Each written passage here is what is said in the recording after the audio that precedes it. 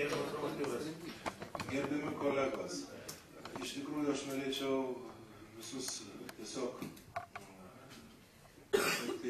paskatinti, kad mes konstruktyviau vis tik tai šitą klausimą svarstytume.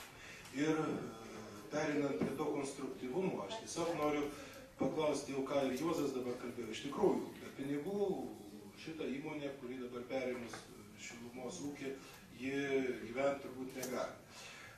Vėlgi, kiek tų pinigų reikia, kiek laiko šitą paskolą, taip sakant, numatyta, im, kiek kainuos tos paskolos aptarnavimas ir kaip tas aptarnavimas dar, sakykime, kadangi jisai kainuos, atsilieps mūsų šilumos kainą. Kad mes turėtume galimybę apsispręsti, na, mes turim žinoti. Paskolos kaina labai aiški. Banko marža plus Liboras matome. Tai sudaro tarp 5-5,5 procentų. Tarp bankų marža yra skiriasi keliasdešimt procentų. Viena banka 2,5, pas kitą 2,6 marža, Liboras ir panašiai.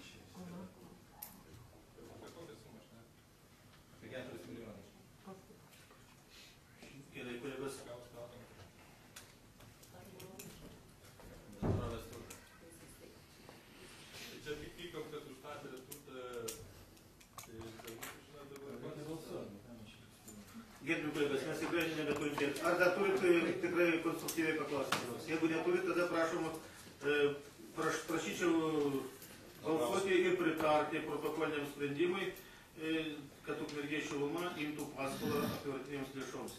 nepritariam. Balsuoti. Ne jūs vienas tai, sprendžiat. Kevinas Zabraskas, prašau. Aš dar norėčiau e, paklausti, e, ar negalima būtų pateikti vis tik tai informacijos, iš kokių sudėdamųjų susideda dabar miesto kaina, nes priėmė sprendimą e, ekstremalių situacijų komisijos savivaldybė jokios informacijos nedavo.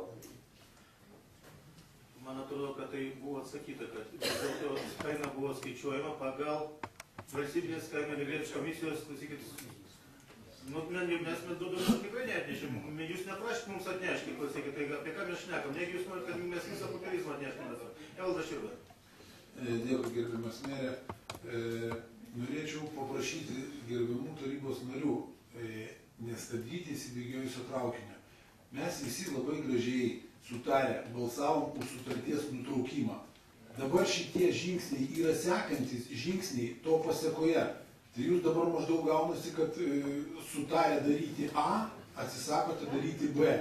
E, turiu pasakyti ir paminėti, kad e, šitas klausimas, šilumos ūkio klausimas yra labai aktualus, labai svarbus visiems mūsų rajono gyventojams.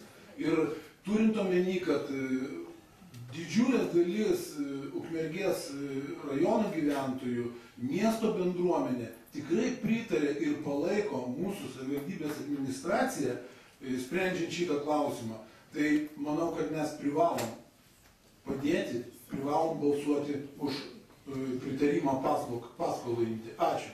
Ačiū Jums, gerbiamas tarybos nariai. Taigi aš teikiu balsavimui pritarti protokoliniam sprendimui, e, dėl, kad reiškia būtų, būtų, e, kad būtų suteikta galimybė Belgijai šilumai imti paskolą privatinėms lėšoms. Prašom už tai balsuoti.